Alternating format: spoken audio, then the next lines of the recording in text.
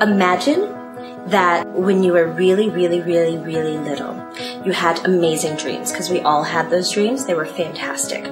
And then someone said, I can make them real. And you know, kind of, that they're, it's not real, real, but it's as close as you're possibly going to get. That's what this is. It's literally like someone reached into all the wonderful cotton candy, fantastic, exciting adventures you've always wanted, and then put it in front of you and said, Go, do whatever you want. I'm feeling so great. I mean, it's awesome, it's amazing, and this is literally the best feeling in the world I have felt ever in my life. It's been a very large experience, larger than life experience.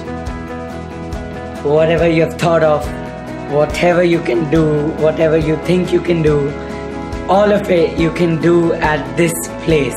These lovely people will make it happen. They'll do everything they can to help you, and you shall have the most amazing time. It's a little bit like a drug. Once you experience that, you feel that that was something that you always wanted to experience, but you didn't have the way to get it. I would say it would be like a theme park where you're waiting on a ride all day.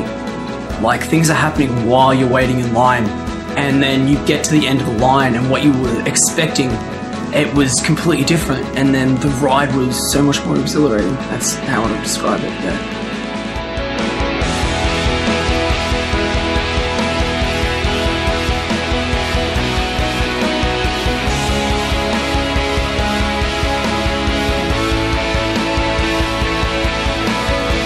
I actually live in India. I came to know about this from Google. I was a bit skeptical. But I was like, okay, I'll take a leap of faith.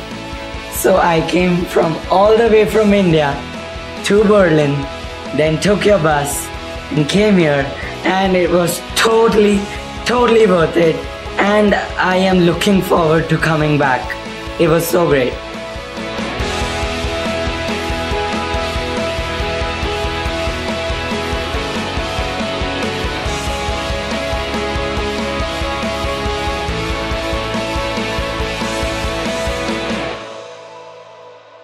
This you cannot learn from hearing me talking about it. You have to try it.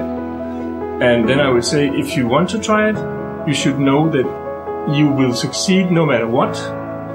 Even if you're scared, do it.